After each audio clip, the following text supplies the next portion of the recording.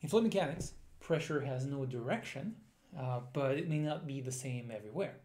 And in fact, if the flow is at all interesting, typically you will have pressure differences occurring in space and in time uh, as the flow uh, is occurring. So the question I'd like us to study right now is this. If I give you a USB key, on this USB key you would have the pressure um, at each point in space and time. So a big table with x, y, z coordinates in every time the local pressure. Um, then how would you compute the net effect of pressure? The direction in which pressure is pushing the fluid everywhere in space. Yes? How would you compute the net effect of pressure?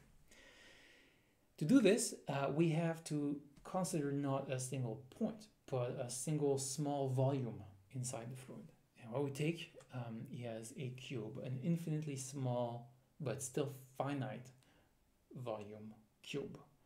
Um, this cube has six sides, and on each of those six sides, you will have one value of pressure. Um, so you have six different pressure values. If you now consider volumes inside the fluid, fluid um, then you need to consider for each of those little volume six different values of pressure, one on each side. Okay, with six different values, what do you do? You ultimately want just one direction. Um, and what you do with these six different values, you take pairs of them. And you're going to take a pair in the x direction, looking at the pressure on that side and the pressure on this side. You're going to take a pair in the y direction with the pressure on this side and the pressure on that side, and take then take a pair on the vertical direction with pressure on top and pressure on bottom. And each of those pairs um, is going to be evaluated so that you can compute how much the pressure is pushing upwards, how much is pressing sideways, and how much is pushing forward.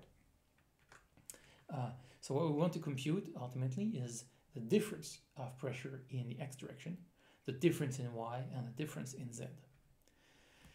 So this is the key concept I would like you to remember. In a fluid, pressure is a one-dimensional scalar field, yes, but the effect of pressure is a three-dimensional field. It is a general direction with an intensity, which describes by how much pressure is pushing uh, and in which direction. Yes, it's a 3D vector field. So that's, how do we compute this field? Let's have a look. if we look at the z direction, let's take a look at the, at a actual 3D cube. Uh, a really advanced teacher would have definitely an animation with a 3D cube, uh, uh, perhaps a holographic or a 3D animation on a video, but I just have a stupid cardboard box. It serves my purpose pretty well. So we have a cube like this, and what we're looking at is side number one, if I can find it, here it is. This is side number one, and on the side of side number one, I have here uh, side number six, which is there, and on the other side, I have side number three. Now what we're looking at is the z direction, so the direction like this. And we want to compute by how much pressure is pushing in the z direction. And for this, I want to compute the force on that side minus the force on this side here. So to do that, I will um, take the area, and the area turns out to be here dx by dy, yes. Um, this area I multiplied by the pressure applying on 3. This is dy dx multiplied by P3.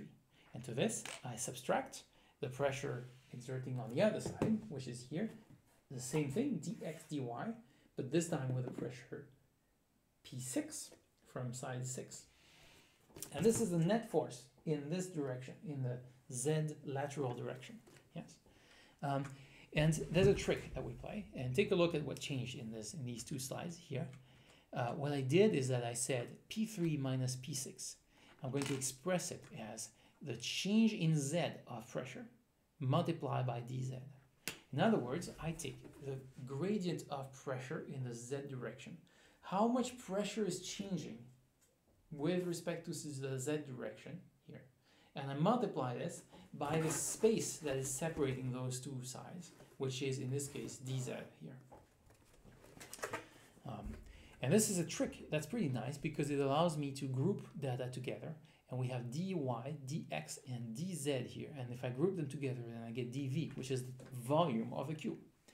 Um, and then I get the net force due to pressure in the z direction here. It is the volume of the cube multiplied by the minus the gradient of pressure in the z direction, the derivative of p with respect to z. Yes? You may be asking yourself why there is a minus there.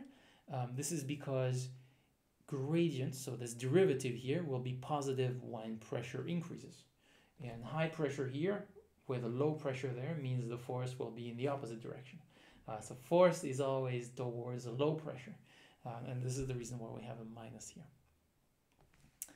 So we've done pressure in the z direction, yes. Um, and now we do the same thing for the x, y directions. So that every time we got um, the volume of the cube multiplied by the change of pressure with respect to the direction with which I'm interested. Okay, so let's sum this up now into one nice vector value. We say the net force due to pressure on the cube. This is the sum of three components, uh, the components in x, the component in y, and the component in z. And each of those I can write as a function of um, the gradient of pressure in the local direction. So it looks like a pretty cumbersome equation, uh, which is a bit annoying to write. You can group terms together, but you still get something that is not super pretty. Um, and typically, uh, engineers, when they have to write this many times over, uh, they get tired pretty soon. And the first thing that they uh, come up with is there's got to be a better way to write this. And of course, there is. And this um, brings us to the cool new tool called the gradient operator. The gradient operator is defined as so.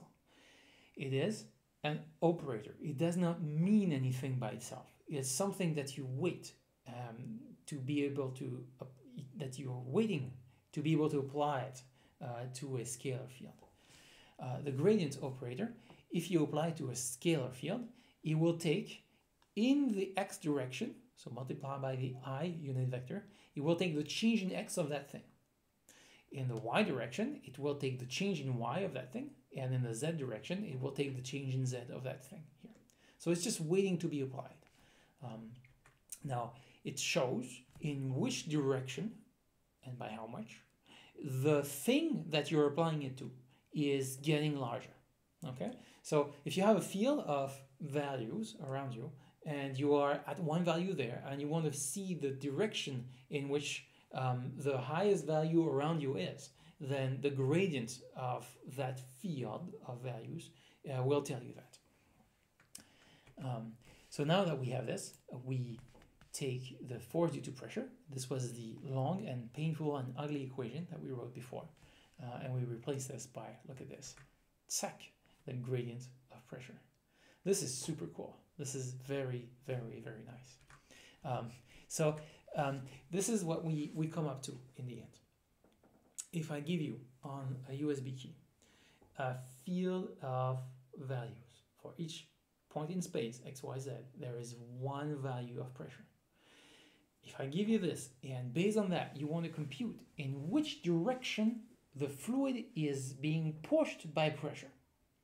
So this is now a field of vectors. Yes, so for x, y, for each x, y, z position, you have an arrow um, which points in, in some direction with some length. So you have three dimensions. If you want to compute this, you want to take minus the gradient of pressure. And this will give you the amount of force per unit volume that is applying inside the fluid due to pressure. So here we are.